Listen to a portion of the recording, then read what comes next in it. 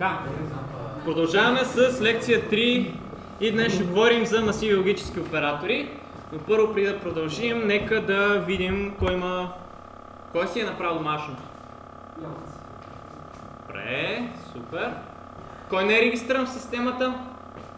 Пак ръце. Всички сте регистрирани. Ами значи, окей, добре. А, който не е регистриран в системата, се регистрира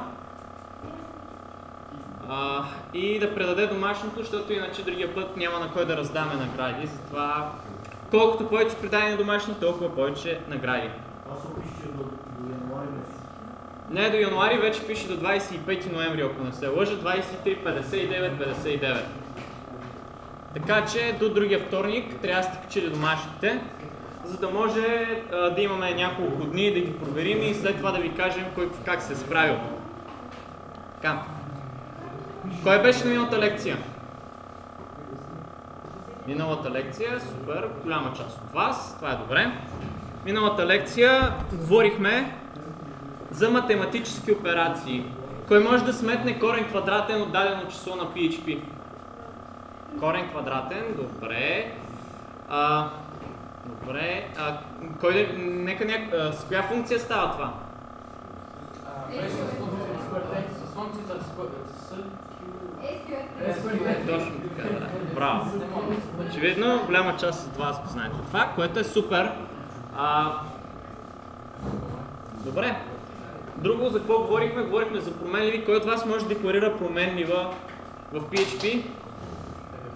Да декларира променлива в PHP. Добре, супер. И кой знае основните типове данни? String, integer, Окей, добре. Голяма част от вас.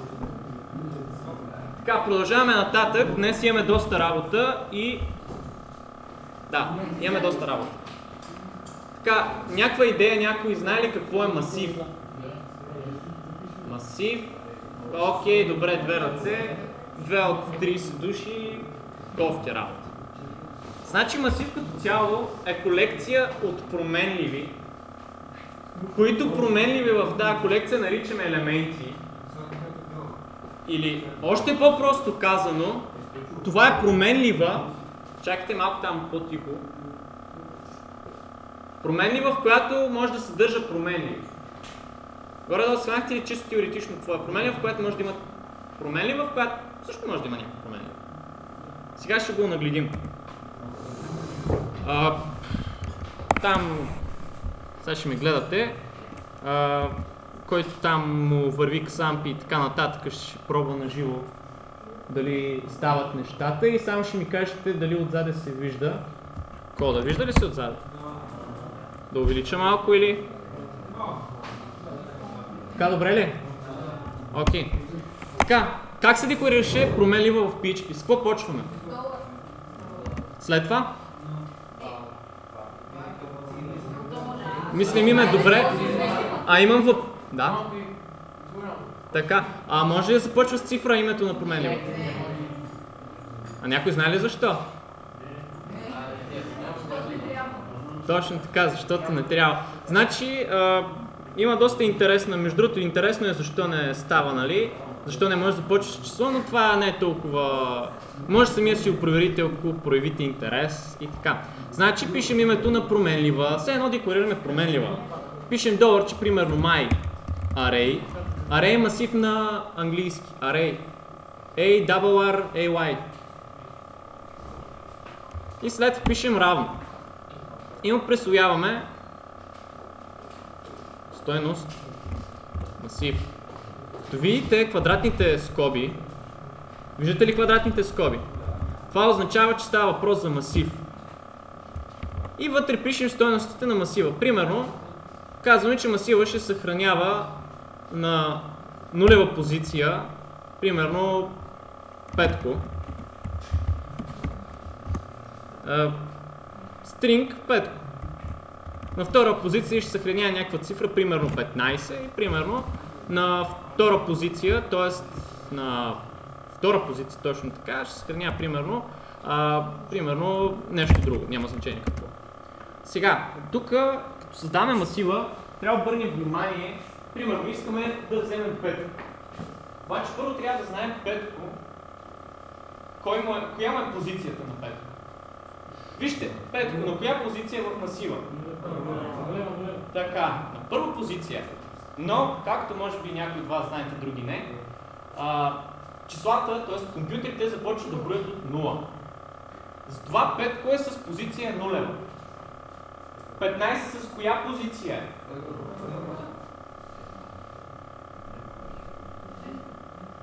SDJ и така нататък с коя позиция е? А добре, примерно, представете си, че имаме един масив с 50 елемента искаме да вземем 21 елемент. На 21 елемент кой ще е ключа? 20, точно така. Това си- всички ли го схванахте? Кой го схвана ръце? Вие сте много умни. Така. Ами като това ви е лесно, да продължим с по-сложните неща. А всички ли имате през списка, за да присъствено на Окей. А, Продължаваме с нещо по-сложно, защото това ви е прекалено лесно на вас. И така. Това е един начин за деклариране на масив с квадратни скоби. Другият начин е е с ключовата дума array.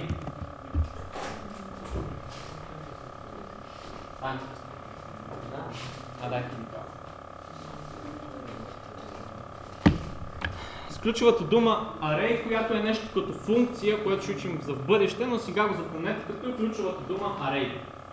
И тук пак по абсолютно същия начин, примерно пишем петко, пишем 15, пишем това.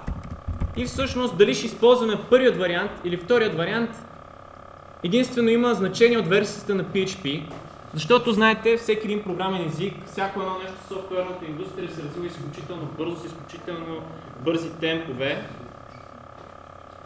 И а, да, и просто първият вариант е по-нов, по-кратък, по-изчистен, докато вторият е по-старият, който идва от създаването на PHP общо взето. Аз ви препоръчвам да използвате първият вариант, но ако версията ви на PHP е под 5.3, просто нямате друг избор, трябва да използвате вторият вариант. 5.3 е последната версия, която не може да работи с алфа на линия трета, което е с квадратните скоби. До тук всичко ясно ли е? Окей. Продължаваме нататък с по-сложните неща. Но първо... Секунда.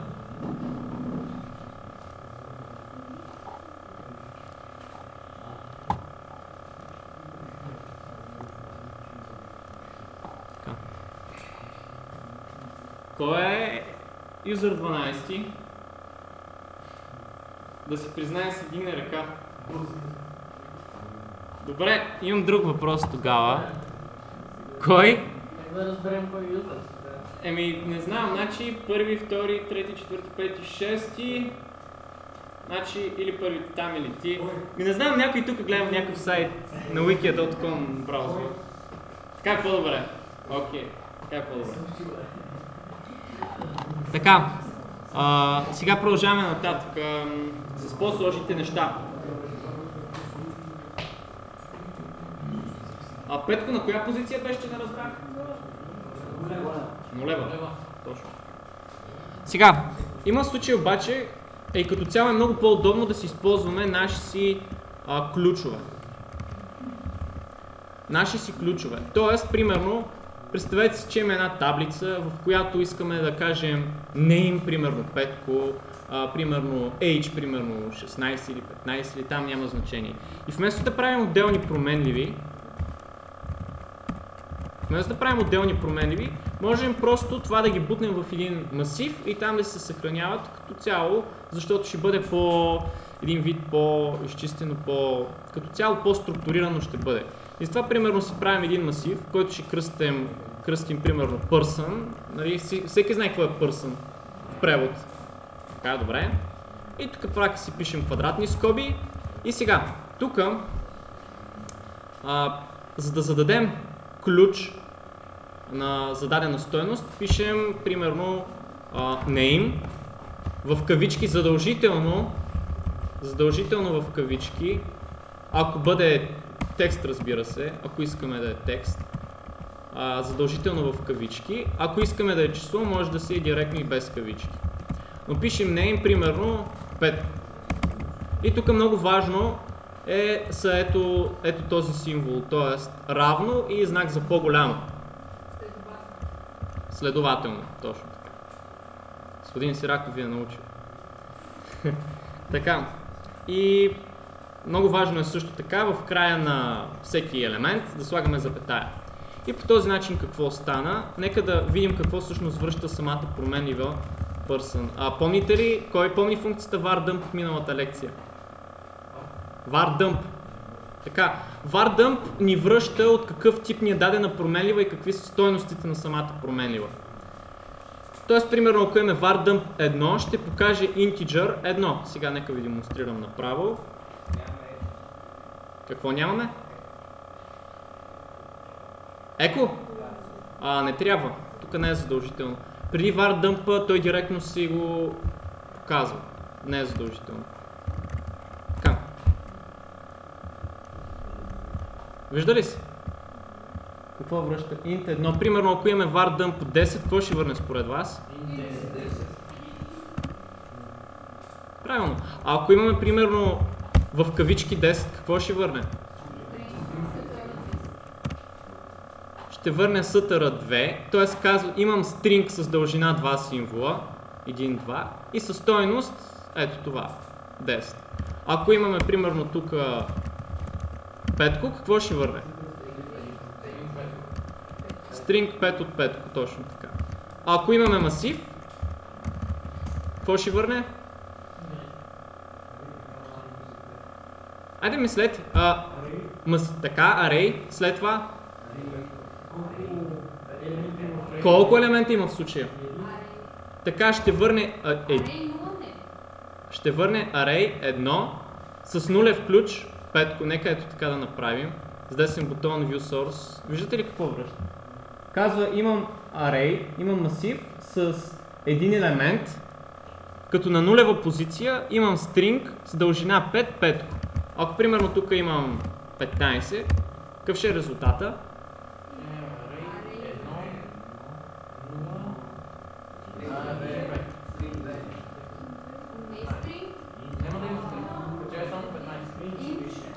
Int, int 15, точно така. Ето. Разбрахте ли за какво служи dump? Окей. Okay. И така, ако имаме примерно няколко елемента, независимо какви са, може и float да са. А, нали помните какво е float? С числа с плаваща запетая, т.е. десетични числа. И ето на нулева позиция имаме integer 15, на първа позиция имаме integer 1, 2, 3, 4. На втора позиция имам string с дължина 3 символа srt. И на трета позиция имам float с стоеност 34,34. Разбрахте ли за какво служи Vardam? Добре, това беше все едно да имаме тук един масив. Сега какво ще върне? Я ми кажете. Какво ще ни покаже програмата?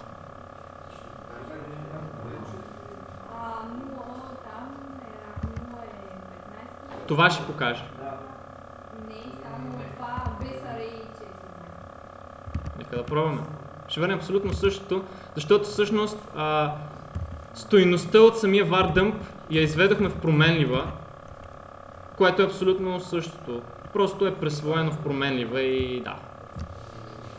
Тоест дали ще напишем това, което е в момента, или напишем просто var dump това, абсолютно никакво значение няма, защото тази стойност я вкарваме в променлива, а ние извикаме стойността на променливата.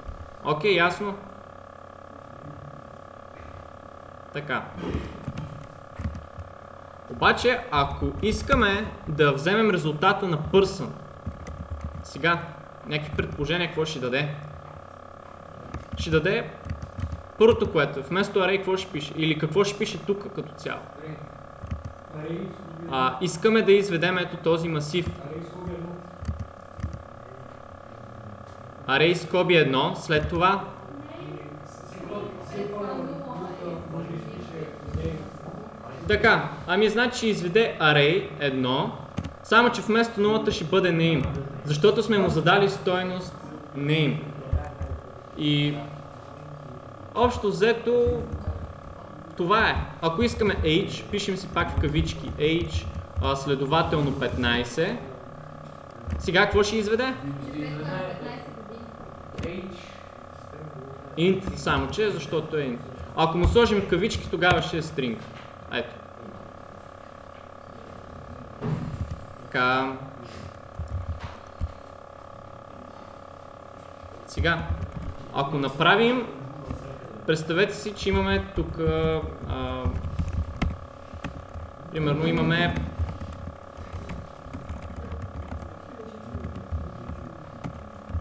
имаме този масив. Сега ще върне array с... Какво ще върне? Array с 3 елемента и ще каже integer нещо си. Нулева позиция виждаме, че е integer 1. Първа позиция е integer 34 и втора позиция а, float. Сега обаче, ако направим следното, направим следното, предекларираме тази променлива, т.е. просто задаваме нова стойност и напишем 0, 1, 1, 34 и 2, 94,8. Какво ще върне според вас? Абсолютно същото. Просто PHP тук им дава автоматично ключовете. Разбирате ли? Ето тези ключове PHP автоматично им ги слага. Вместо да пишем 0, 1, 1.34, 2.94,8, пишем просто това и PHP автоматично се грижи за ключовете им да бъдат номерирани от 0 до колкото символа минус 1 има. Така. И сега ако тук напишем примерно first, какъв ще бъде резултата? Така, а ако направим следното, сега нека малко да осложним нещата. Ако тук едната, на, едната стойност на, в масива и зададем ключа, на другата ние зададем, тази какъв ключ ще има според вас?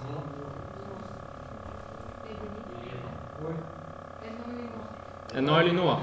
Нула? Нула. Ами 0 ще бъде, защото PHP вижда, че тук имаме нещо, което не е цифра и започва от 0, пак обратно от 0. Обаче, ако ето тук пак имаме някаква друга стойност, примерно нещо си, и тук сега му напишем 123, 123 колко ще има, моля? Единица. 123 точно така ще бъде единица, или поне аз предполагам, опа, секунда.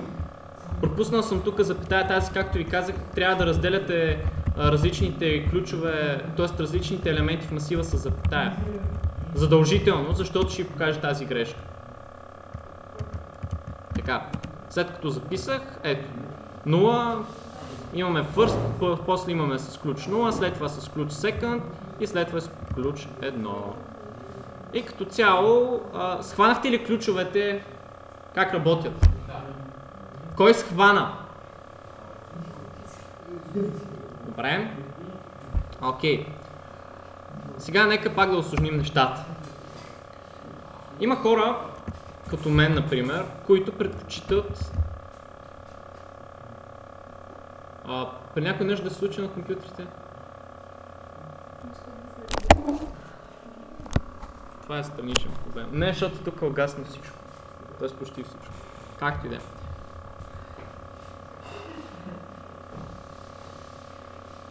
Така. Значи, аз предпочитам по този начин да декларирам масивите. Обаче има пък хора, които предпочитат на много линии да го правят. Примерно, person за автоматичен ключ, или айде да бъде по-лесно. Първо, примерно, ако искаме да присвоим, ако искаме да направим масив, слушайте внимателно, искаме да направим масив person, който има ключ name, можем да направим просто person, квадратни скобички, кавички name, равно примерно на 5. След това, примерно, искаме на в масива person да присвоим стоеност h, която примерно ще е 16. И след това, като направя var dump, какво ще покаже според вас? Това ще покаже, така ли? Не, не, ще, ще покажем ние първите като номера. Тоест само Person Age ще покаже. Това ли имаш предвид?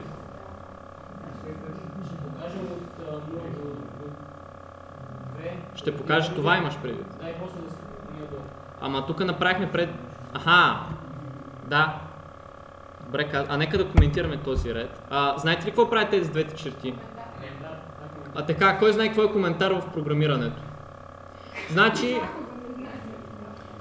а, коментарът всъщност е част от кода, която при компилация или при интерпретация просто самата програма не чете какво пишем в коментара. В случая в PHP пишем коментарите с две наклонени черти. Ето по този начин. С две наклонени черти. И каквото и да напишем след тия наклонени черти, няма да ни се покаже. Ето сега записвам, например. Записвам и като дойда тук, не се показва, виждате ли? Абсолютно никъде не се показва. Това XD и нещо си там. Има друг начин, но това е само за една линия. И когато искате да коментирате няколко линии, използвате наклона черта звездичка и затваряте задължително с звездичка наклона черта и тук пак може да си пишете каквото си искате. И пак няма да се изпълни. Сега схванахте ли горе-долу какво са коментарите? Част от кода, която не се изпълнява. И много е полезно, като пишете големи обемисти кодове, да слагате коментари. Примерно, person, примерно си давате масив и тук казвате, а, примерно, person's list или нещо от този тип, за да може програмистът след вас, който ви чете кода, да знае какво имате предвид този масив person. Така. И всъщност, нека да направим, а, да видим какво ще изведе това. Ще изведе пак същото array 2, name, string, 5, h, integer 12, а, 16. Ясно ли е защо извежда това? Ясно ли е? Така, окей. Сега обаче, нека да създам по моят си начин този масив и ще напиша пак квадратни скобички и в него описвам ключовете и стоеностите.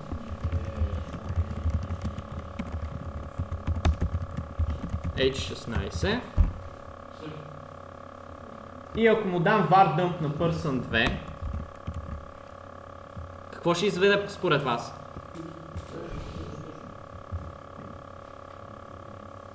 Абсолютно същото. Идеята е, че дали ще използвате този начин или този начин няма абсолютно никакво значение. Който ви е по-удобен, не го използвайте. Така. Ако направим person 1 равно на person 2, какво ще изведе според вас?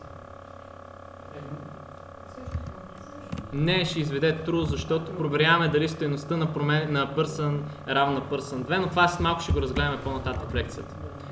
Та разбрахте ли ключовете? Пак повтарям. Кой разбра ключовете как работят в PHP? Добре, тогава пак осложняваме, осложняваме нещата. Казахме, когато използваме моят метод, а, че когато не зададете ключ, PHP автоматично си добавя, нали така? В случая тест колко му е ключа? Тоест тест 2. А на тест 4 колко му е ключа? Добре, окей. Сега обаче, ако искате да използвате вторият начин и искате PHP автоматично да им добавя ключовете, просто пишете person, квадратни скобички, примерно, примерно тест 4. И когато направите var dump на променливата person, това, колко, тест 4 колко ще му е ключа? Ключа му ще бъде 0, защото не сме уточнили преди това от integer типове и да, ще бъде 0. Ето, 0, string 5, тест 4.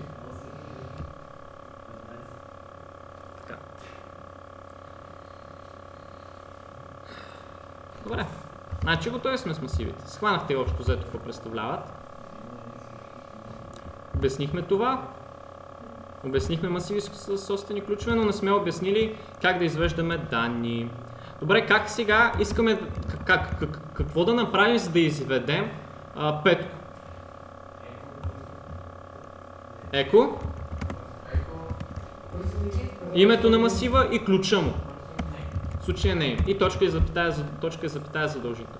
Сега какво ще изведе? Ми да проверим. Правилно, петко.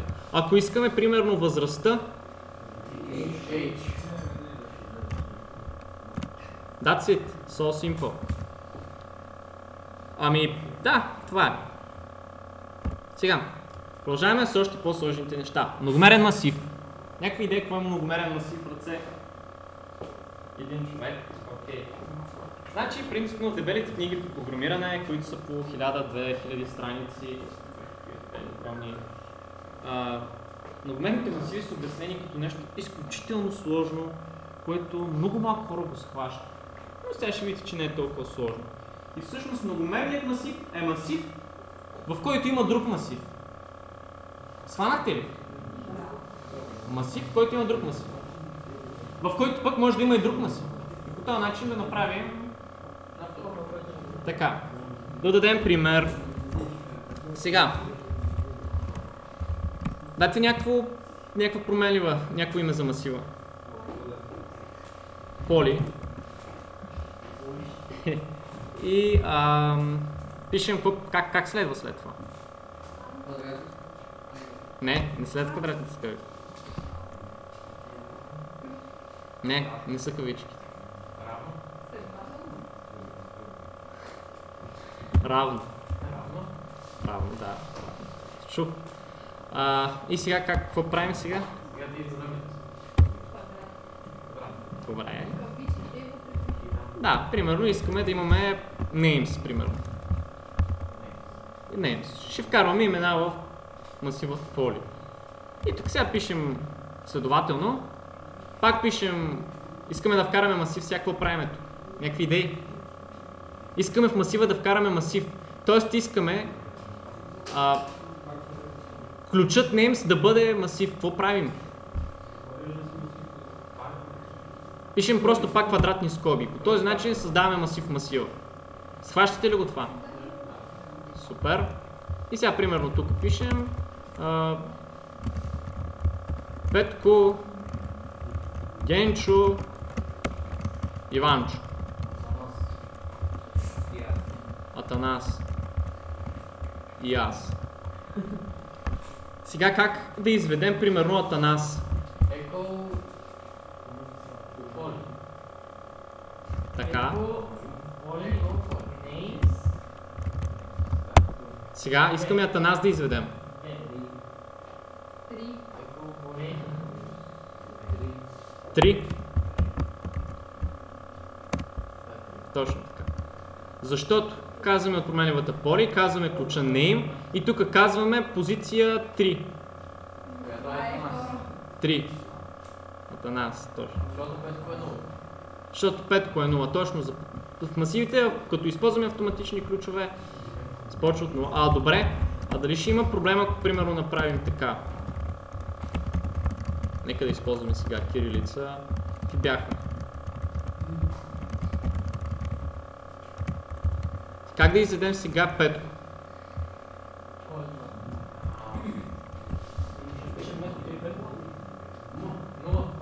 Къде пишем 0? Само вместо тройка. Пишем Петко. Не, Пишем пет нула. вместо- Е, нула вместо тройка. Нека видим какво ще стане. Така. Значи, тук вече сме му задали ключ. Когато нямаме зададен ключ, тогава е 0 или 1 или 2. А когато сме му задали изрично, в случая ще е 5. Да. Окей, това е. А, ето 5. Ми ако искаме примерно на 5, можем да му добавим още един масив вътре. Да. Добре, примерно H. Ей, Как ще изведем възрастта на 5? Петко. Names, петко.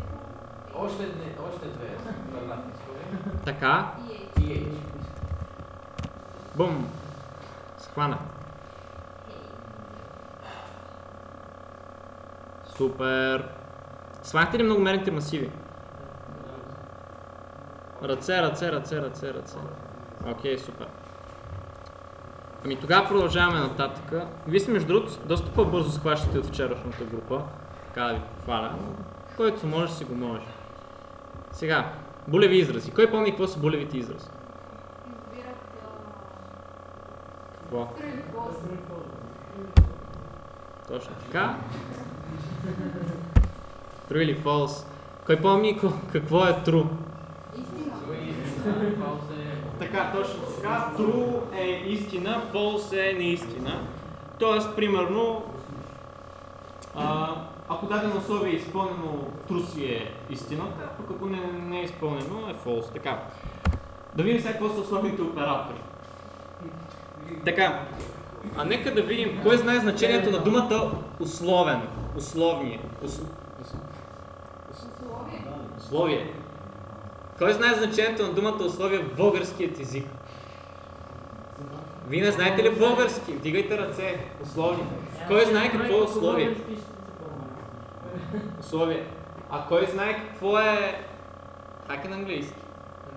Condition. Ами, дали условие, дали condition след тая? Условие. Тоест имаме някакво условие. Примерно, условие в живота е, майка ви ви казва, ако не си напишеш домашното до 4 часа, няма да сядаш на компютър. Кое е условието? Ако не си напишеш домашното до 4 часа, това е условие. Така, ако не си напишеш ако не си напишеш домашното, какво става? Точно така, няма да седаш на компютъра. И това е вече е true, т.е. ако не си напишеш домашно, това всъщност е true, защото ти не си си написал домашно. И няма да сядаш на компютъра. В противен случай ще сядаш. И така. И накратко, това са оператори, които проверяват вредността на дадено условие. Тоест оператор, т.е. част от езика, част от PHP, която проверява дали дадено условие е изпълнено. Дали дадено условие е true. Най-лесният начин е с if и else. Има и друг начин. Но сами ще си го намерите, защото не знам защо сами ще си го намерите, защото нямаме време. Ако ни остане време, може и него да разгледаме. If else. Сега. Нека да напишем някаква простичка програма. Примерно, създаваме променлива, която се казва примерно а, var, която ще съдържа стоеност true. И сега нека да видим как се проверява условието в PHP. Как е ако на английски?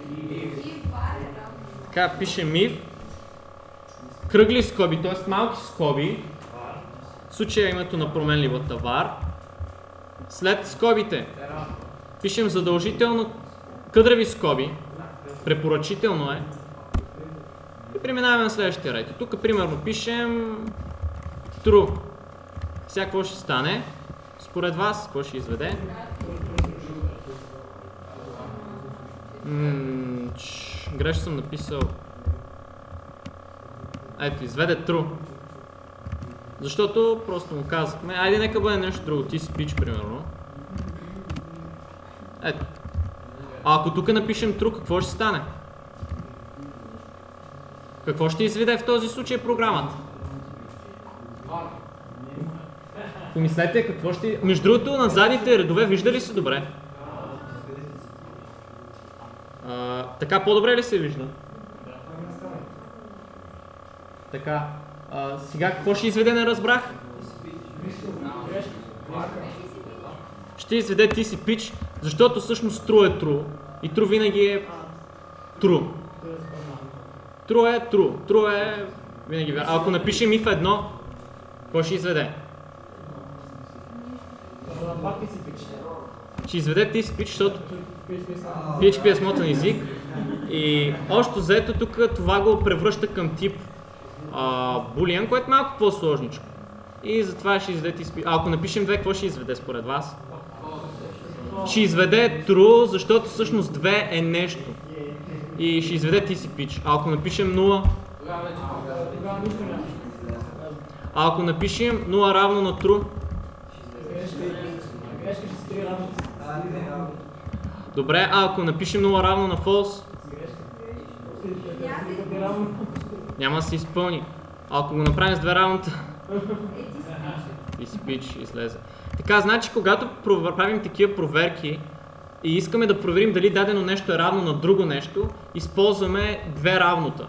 Всеки знае какво е равно нали, в математиката. Няма, няма, няма, кой, няма кой да не знае какво е равно. Просто пишем две равнота. Ако напишем три равнота, проверява освен стойността, Типа. проверява и типа точно така. Примерно, да не нека направим една проверка. 0 равно на string 0. Integer 0 равно на string 0. Според вас какво ще върне в случая? Ще върне ти си пич, защото съобразява, че 0 е 0. Съобразява в момента само а, стойността. Случая това е стойност 0, а това е със стойност 0. Тук не засяга за това, че първото е integer, а второто е string. Ако напишем три равнота обаче, ще засегне и типа и ще каже тук съм integer с 0, тук обаче съм string с 0. Обаче кофти работа, нали, няма да стане. Точно така, ето връща, нищо не връща, защото просто нищо не сме му дали да връща. И така, ако това също става и с променливи и примерно казваме var равно на 1, в случай какво ще върне? Внимавайте, какво ще върне? Казваме на var, че е равно на true. И правим проверка дали var е равно на 1. Ще върне ти си пич, защото това конвертирано към boolean е едно, обаче и стринга е конвертиран към едно. Е едно. Ако напишем три равнота, какво ще върне? Защо няма върне нищо обаче? Точно така, защото проверява и типа. Това схванахте ли го? Добре, ако искаме примерно да провери дали случая, ако... Какво да направим сега в случая, примерно, приемаме, че имаме age променива и примерно сме на 20 години и искаме да проверим дали съм пълнолетен. Какво ще направим? Какво ще бъде тук условието? H Age equals равно. Е по-равно. Равно. На по-голямо равно. на 18, това ли ви е идеята? Не, по-голямо по-голямо. Или равно? Вижте как се пише по-голямо или равно. Пишете по този начин. Ако искаме да проверим по-малко или равно, използваме това. Ако искаме да проверим дали не е равно, пишем удивителна. А ако искаме да засегнем и типа, пишем още едно равно. Това са такива, които с просто са практиката ще, ще ги научите. И правим проверка, ако е, че е по-голямо или равно на 18, Значи Ти си- ти си примерно пълнолетен. Нека го напишем на български. Ето, излезе ти си пълнолетен. Ами ако не си, искаме да изведем ти не си пълнолетен. Какво правим случай? Значи ако е по-малко, по-малко или Само равно? без равно. Е без равно. Значи има два варианта. Първият вариант е да напишем if age е по-малко от 18, ти си непълнолетен. Обаче това е изключително глупаво, първото което е. И най-добре е вместо ето това цялото нещо да го изтрием и да напишем else. Защото какво означава else? Ако това условие е false, т.е. ако това условие не е изпълнено, ще е се изпълни е true точно така.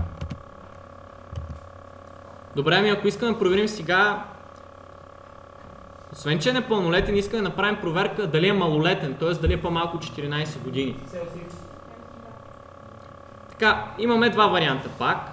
Единия с else if, а другия в else да напишем else age по-малко от 14 и да изведе си малолетен. И в противен случай, нали, ако не си нито пълнолетен, нито малолетен, да изведе ти си непълнолетен. Защото ако не си по-малко на 14 години, обаче си по-голям от 18 и, и не си по-голям от 18, ти ще си непълнолетен. И в случай ще изведе ти си непълнолетен. Ако проверим, нека да проверим, ако H е 10, ще изведе ти си малолетен. Ти. Така. Това е кофти начин, защото представете си тук и да правим още една проверка, примерно дали H е по-малко от 10 и след това да правим и друга проверка, която проверяваме H дали примерно е по-малко от 5. Абе става кофти, кода ще тръгне така по диагонал. Затова най-добре на оптимизираният начин ето това да го вземем, да го изтрием от тук, да изтрием и това, да поставим кода тук и вместо if да напишем else if. И по този начин става по-красиво общо взето. А, тук няма значение дали ще има място след else или ще има, няма абсолютно никакво значение. ще работи така, ще работи и така. Двата начина са напълно еднакви. Препоръчително е този начин да се използва. И сега програмата не би трябвало да има никакви проблеми. Ето, сега нека сменим примерно с 18 години. Ти си пълнолетен. Нека да сменим примерно с 20 години. И ти пак си пълнолетен, обаче примерно с 14. Сега какво ще изведе? Какво? Не пълнолетен. Не пълнолетен, точно така. Това сванахте ли го?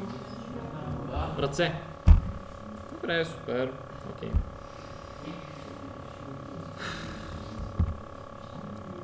Сега.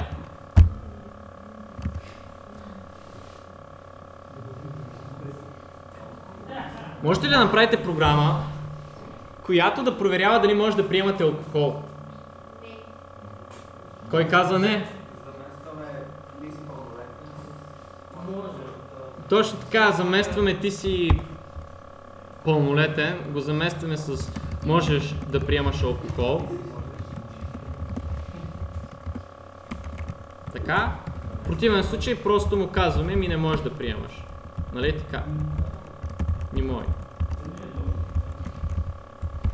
Ето. Оп. Не можеш да приемаш.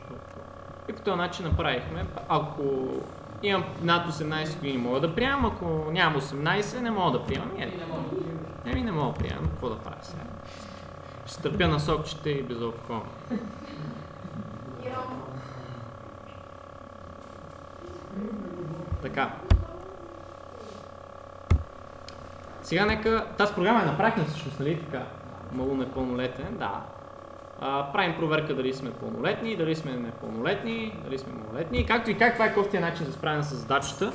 Заради ето тези групички, които влизат все по-навътре, и по-навътре, и по-навътре, което е кофти. И по-добрият начин е с LC, което просто си го прави една една линия.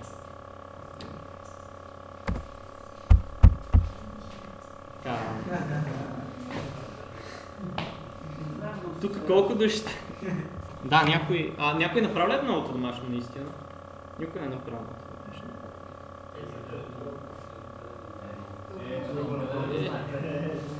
Добре. Ами ще има домашно.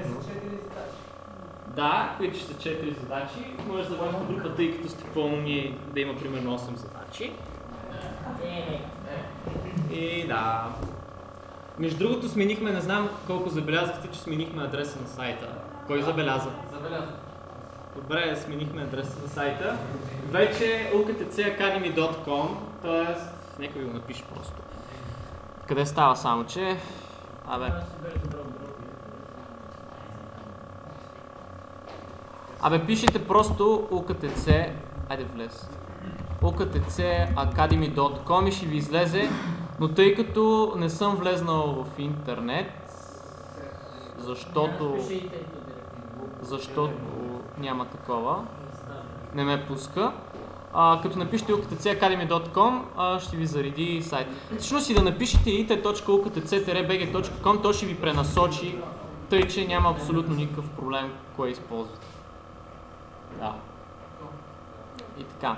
Те идеята е, че има домашно, което е много просто между другото. И нека всъщност да го видим. А, и да ви се похваля, това е подарък от нашия хостинг партньор ICMBG, от които най-вероятно следващия път ще се получите наградите, които са на обща стойност доста пари. Така, първата задача се казва Аз съм Любчо.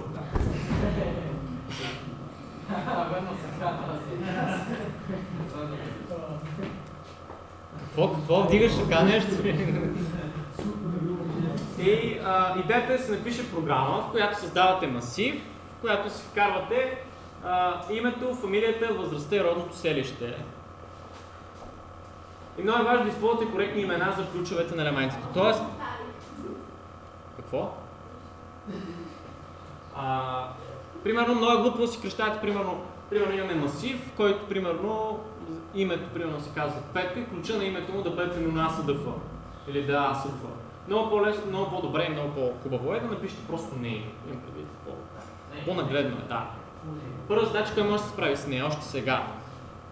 Още сега не. Още сега не.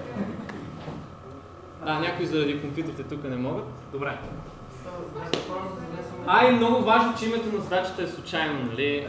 Да не се съдим и така. Втората задача е мога ли да взема шофьорска книжка. Трябва да се напише програма.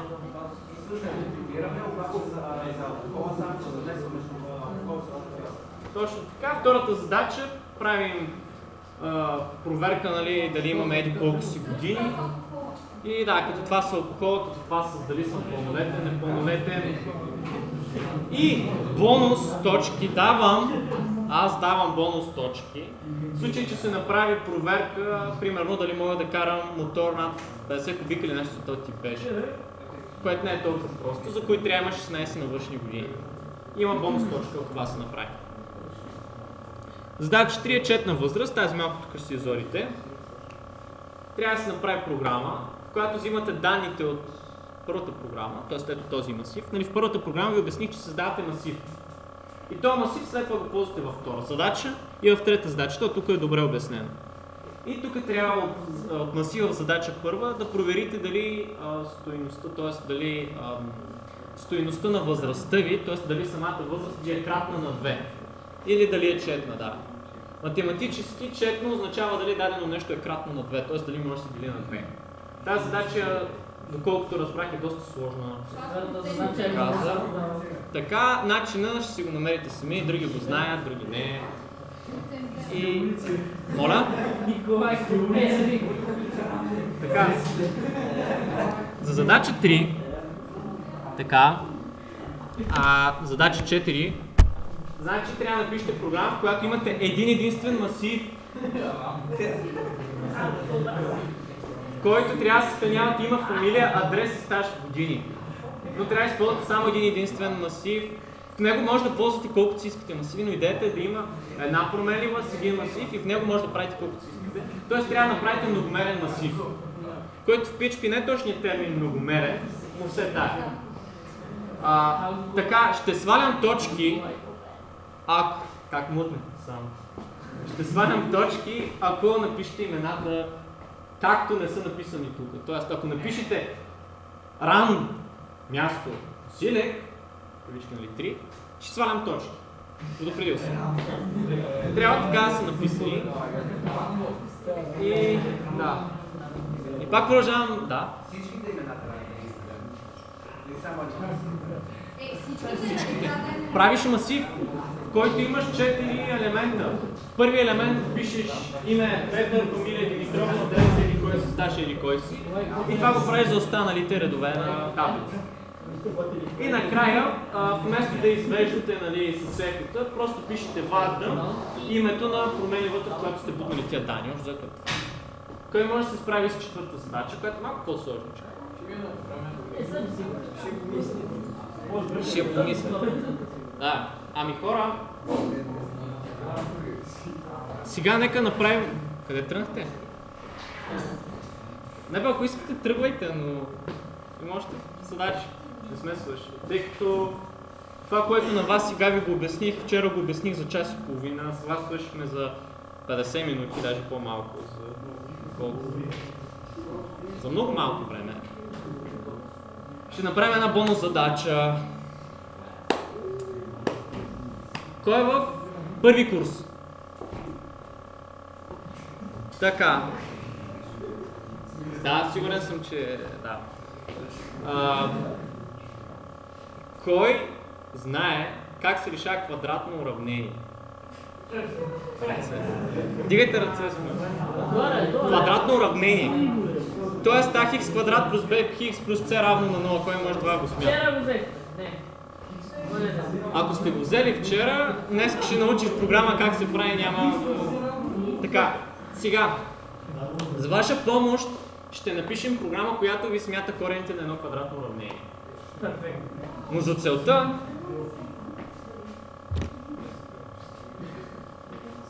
Секунда. Няма го изключа. Не, не стана. Хм. Отново е батерия. Не, и това. И това не е. И това не е, и това не е. Ами не мога да го намеря. Та идеята е, че някой сега ще излезе на дъската и... Чакайте само секунда. А... Е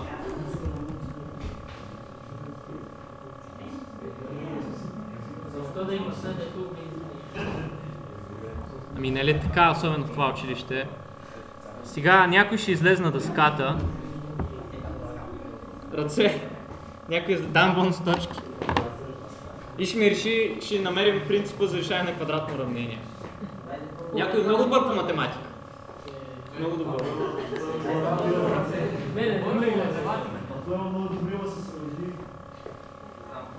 Така.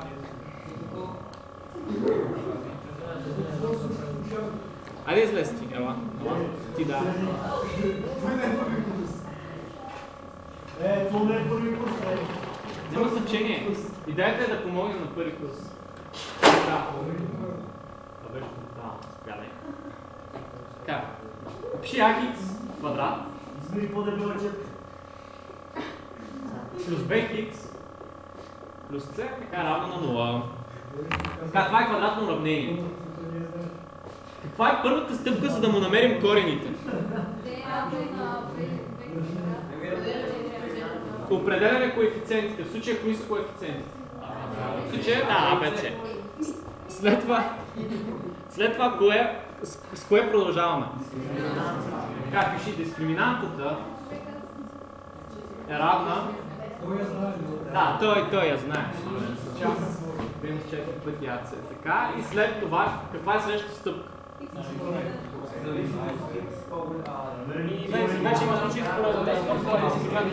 Точно така, в зависимост от това дали дискриминантата е по-голяма от минус 1, определяме дали има корени. Тоест, ако е по-малко от 0, няма корени, а пък ако е по-голямо или равно от 0, има корени. И затова сега, е така, Аз точно Пиши 5000. x1 и x2 отделно. x1 и x2. Да, пишем x1, така.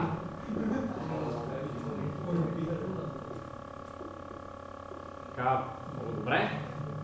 Сега. Нека да вземем някакви случайни стоености. Всъщност няма нужда да вземем случайни стоености, сега направо ще пишем програмата. Не марки. Сега, каква е първата стъпка преди да напишем програмата? Декларираме ABC, определяме дискриминанти. Тоест, вие, примерно, имате квадратното уравнение 5х квадрат плюс, примерно, 4 пъти х минус, примерно, 20 равно на 0. Първо трябва в променливи да изведем 5, да изведем 4 и да изведем това минус 20. Нека го направим. Сядай.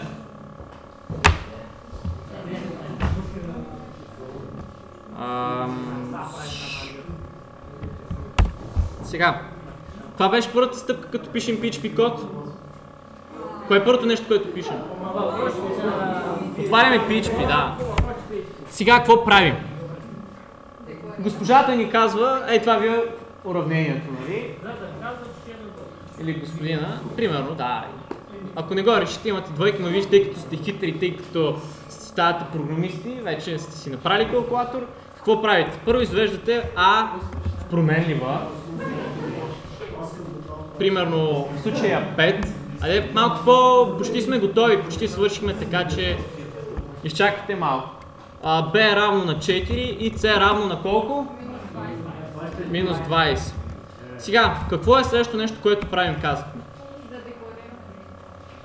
Следващото нещо в математиката за решаване на квадратен корен е да намерим дискриминантата. Пишем променлива d е равна на... На какво е равна? Така. b квадрат. Как пишем b квадрат? Колипката? Не става с колипката, не знам защо. Пишем просто b по b. А, минус 4 пъти по А по С. Но тук е ясно ли е какво правим? Сега, какво е следващото нещо, което правим?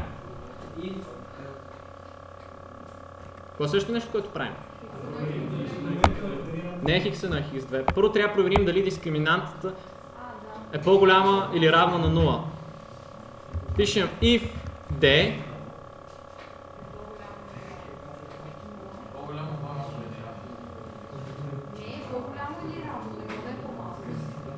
по-голямо или равно на 0, намираме x1, нали така?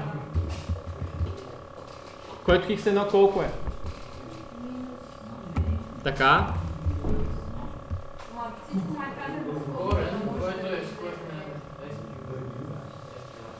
А, точно така, плюс. SQRT от D, точно така. И това цялото върху два пъти А, нали така? Слагаме му скобички, за да го напишем на една линия и пишем върху два пъти А. а раз- разбрахте ли защо с тия скоби? След това за хикс 2 какво пишехме? Равно на хикс. Само, че пред SQRT Какво има? А, да, да, точно така. Само, че имаме минус SQRT, дискриминантата върху 2 по А. И нека сега да ги изведеме и напишем просто ехо хикс 1, сложим разделител за нова линия хикс 2. Това ясно ли е защо го пише така? Не знам, а то нищо не се вижда хора.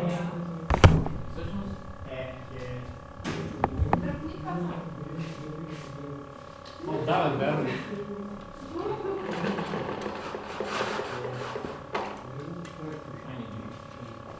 Така, това е кон, конкатенацията, в момента не мога да го кажа, но още взето съединяваме string с променлива по този начин и сега какво ще изведе според вас? Някой идея какво ще изведе? ще изведе. Корените. А, как беше? Квадрик.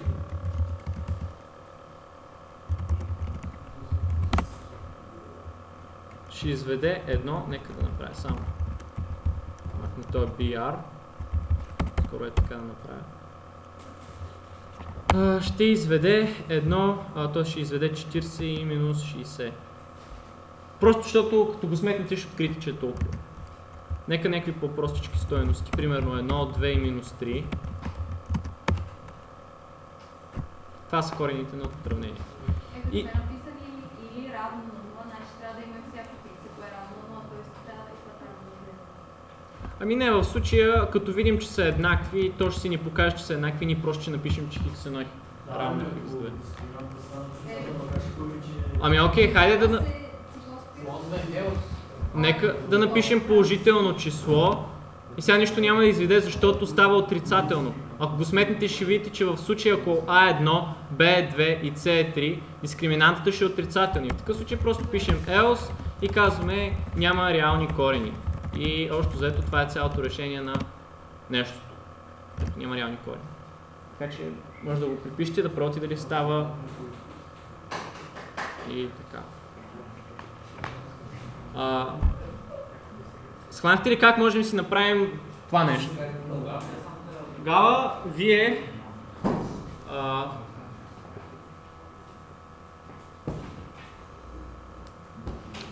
ам,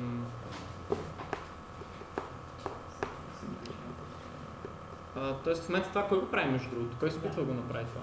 Библиотекар. Окей, добре. Тогава нека стои на дъската, аз през това време да говоря там някакви глупости. За домашните, домашните решихме, че няма бъдат до 2 февруари. Нали, или до 1 февруари ги бяхме писали. Февруари беше със сигурност. 1 февруари мисля беше. Домашните ще бъдат до две седмици след провеждането на лекцията. Тоест това домашно това домашно трябва да го публикувате, т.е. не това домашно, но това домашно, което да го показва. Трябва да го публикувате до две седмици, т.е. до не знам кой декември се пада. Кой декември се пада?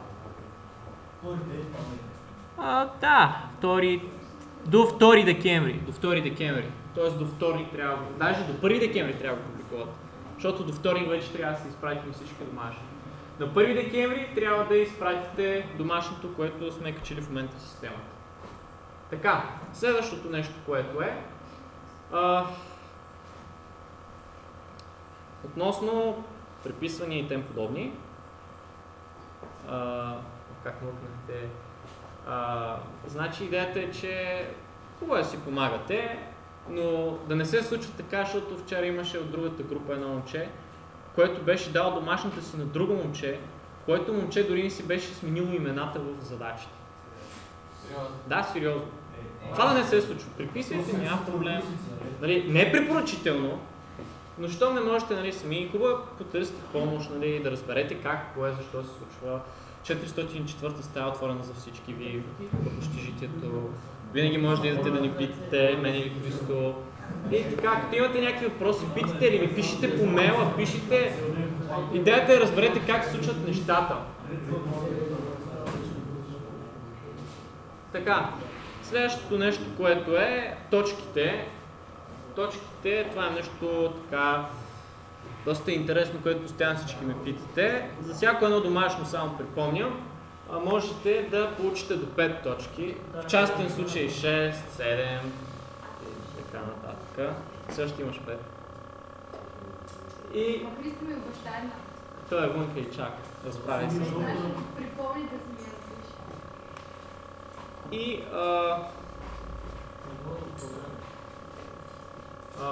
получавате до 5-6 точки, 7 може и отрицателни точки да получите, ако нещо сте скафили жестоко, като ми помагате или като на Христо помагате, ако ви обещаем по някоя точка, получавате бонус точка, както той, например, сега ще получи бонус точка с това, че ми купи вода. И да. И накрая, който има най-много точки, а, този курс ще бъде като конкурсен състезателен характер, секунда само. А, ще бъде състезателен характер и който има най-много точки, ще получи най-много и най-големи награди. Така, да. А ако двама са с еднакви Общ брой точки. еднакви. Ами ще направим състезание. Още по-интересно. Да. Не. Не. Вие няма да знаете през цялото време колко са ви точките. За да може да бъдете възможно най-предсакани и да. Чувствам ли, че сега мога да се Ами, за сега а, средно максималните точки, човека с най-много точки има, мисля, че 7 или 8. Или 9. Но не повече. И това е защото човек се беше наистина много добре беше направил домашното. И то, точно както аз би го направил, което е доста похвално. И да. Но пък има и други точки, които постоянно ме преследват за точки и така нататък. И те също ще получат точки, само че някой друг няма да е днес. Така. А, кой все още прави задачата? Няма как екзампъл не ще да стартира. Ама той вече е стартиран касампъл. Отиваш в цек сам пеше, докато си там пишеш. Така. А, Ботевград, кой е от Ботевград? А в колко имате автобус?